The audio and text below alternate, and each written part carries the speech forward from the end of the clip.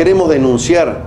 a todo el pueblo boliviano que en este momento se está tratando en la Comisión de Ética de la Cámara de Senadores la modificación al reglamento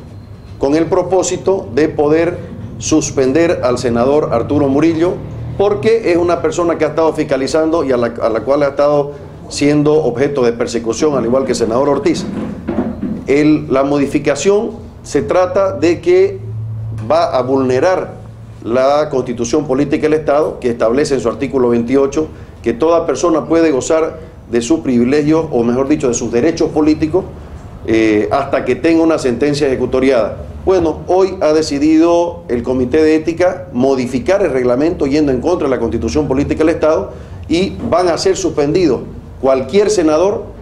solamente con el hecho de tener una sentencia por autoridad jurisdiccional competente. Acá vemos cuáles son los propósitos que tiene el movimiento socialismo de dictar sentencia ayer a, un ex candidato, hoy modificar un reglamento para suspender a un senador opositor y así como es hoy el senador Murillo, mañana puede ser cualquier persona que se dedique a fiscalizar este gobierno. Eso es lo que el gobierno no quiere. Ataca a los periodistas, ataca a los medios de comunicación, ataca a los opositores y ahora está yendo por los parlamentarios.